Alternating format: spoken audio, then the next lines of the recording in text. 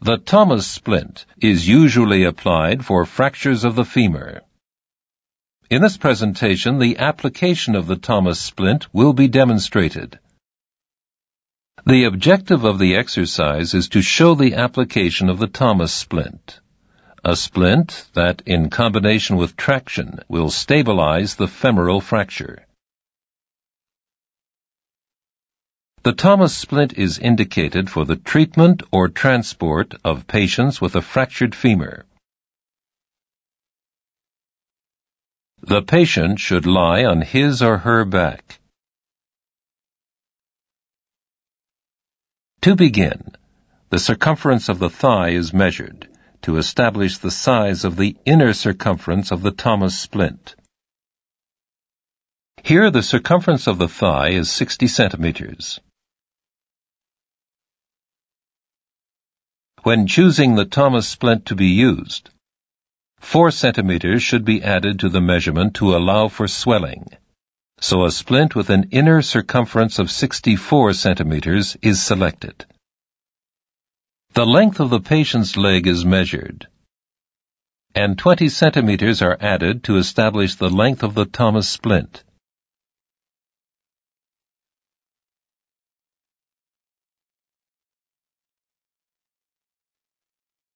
Tinct Benz Co is used to help with the adhesion of the elastoplast. On the medial side, beginning at the groin, Tinct Benz Co is applied down to the ankle. The adhesive also is spread on the lateral side from the greater trochanter down to the ankle.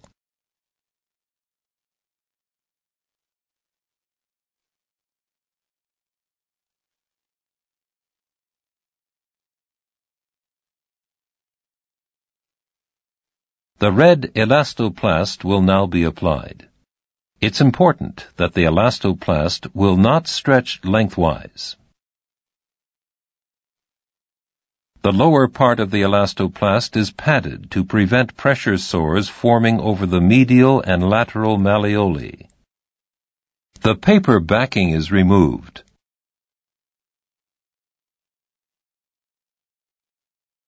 And the elastoplast is applied on the medial side, proximally, up to the groin.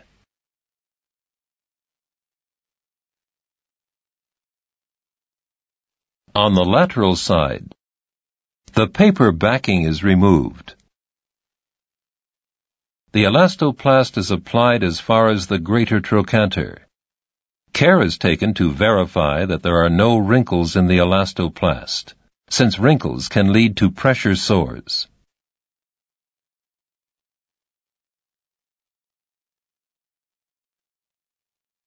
Starting four finger widths above the ankle joint, a circular bandage is wound proximally with moderate tension towards the groin.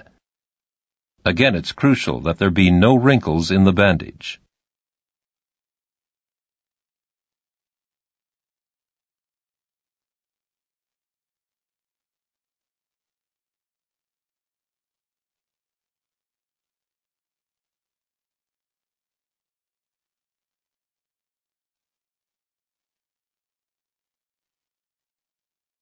A second bandage ensures that the elastoplast is secured as far as the groin.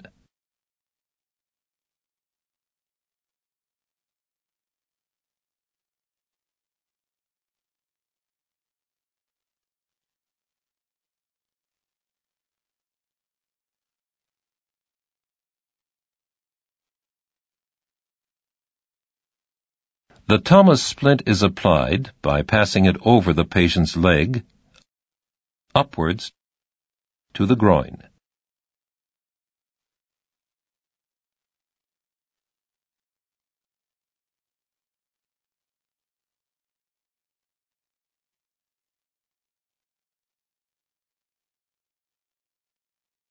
The Cramer wire, which must be very well padded in order to prevent pressure sores, is placed under the patient's leg. Proximally, it extends to the ring of the splint. The Cramer wire is bent slightly under the patient's knee. and must be further bent to the angle of the heel in order to prevent pressure sores under the heel. The flannelette bandages are used to secure the leg and Thomas splint, while providing support to the Cramer wire. The bandage goes over the ring of the Thomas splint, under the Cramer wire, around the Thomas splint, back under the Cramer wire and is secured on the lateral side with a sailor's knot.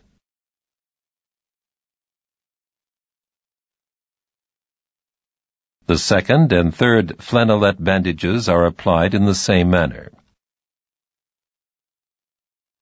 The second bandage is located behind the knee.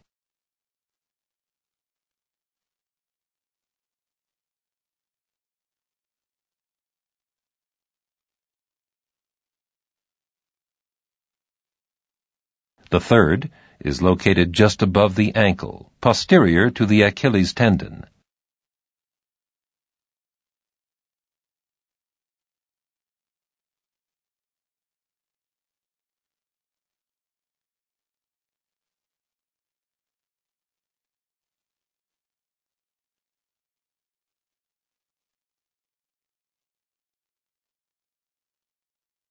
Traction is applied to the fractured femur by tying the cord attached to the end of the elastoplast to the distal end of the Thomas splint.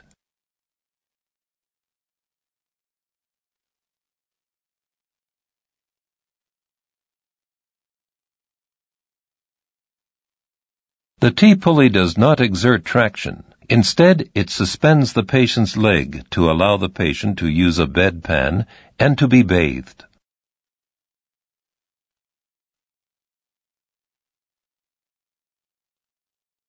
The T-pulley is fixed in place, as shown here.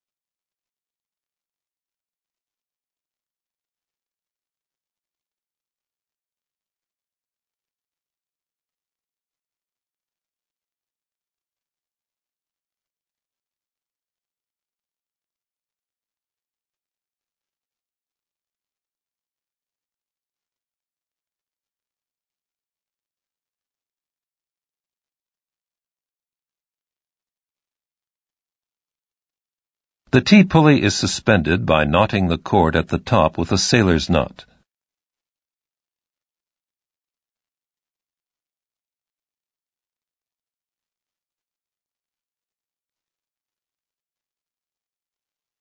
The cord is passed over the proximal pulley, downwards, and under the T-pulley. Then it goes upwards over the second most proximal pulley. The cord is passed distally over the remaining pulleys to the distal end.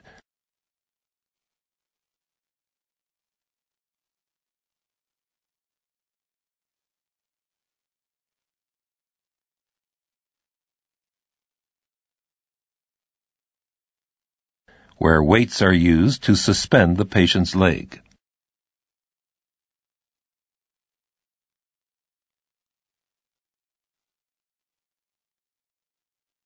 Additional traction may be applied by retightening and knotting the cord at the distal end of the elastoplast.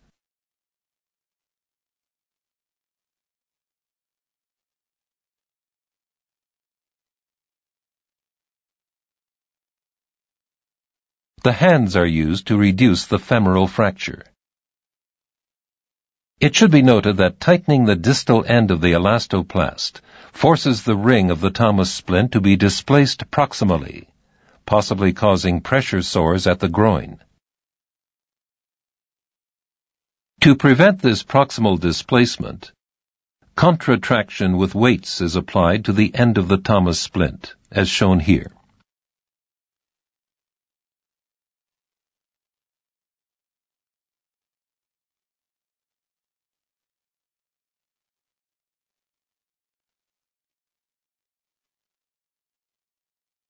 8 kilograms are generally sufficient for an adult patient, with less weight used for a child.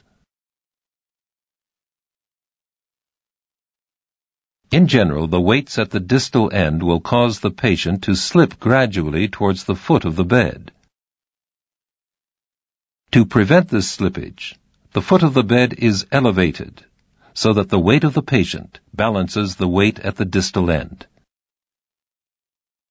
The finger is inserted between the ring of the Thomas splint and the groin to verify that there are no pressure points. If pressure points are found, then the traction caused by the cord which secures the elastoplast to the Thomas splint should be lessened. The application of the Thomas splint is now complete.